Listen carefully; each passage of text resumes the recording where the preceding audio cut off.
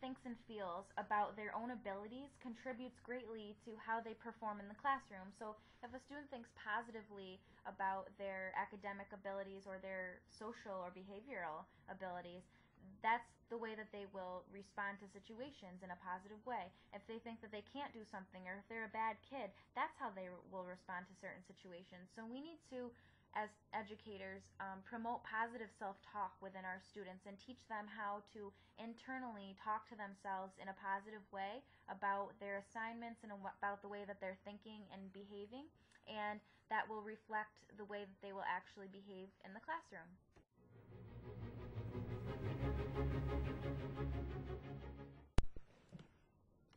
Some assignments may leave students feeling very overwhelmed.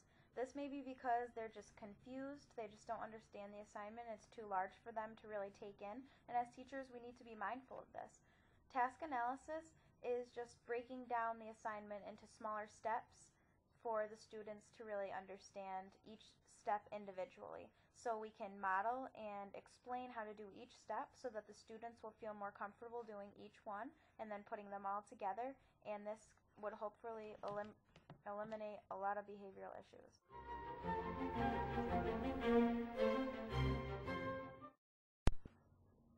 As shown here, a student behavior contract can be used to help students be accountable for their own behavior because there will be appropriate behavior goals set by the student and the teacher and the parent that will be agreed upon.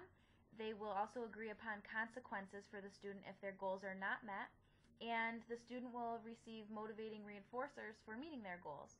Just as any contract, this will be signed by the parent, teacher, and the student.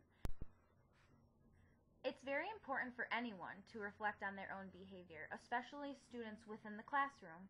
It's okay for students to make mistakes, and they must know this in the classroom, but they need, also need to know how to know what they're feeling, how to express what they're feeling, how to think about things in terms of what can I do better next time. So having a self-reflection center in the classroom is a very good idea so that students can remove themselves from the situation, think about their behavior and what they can do next time to improve, improve upon it.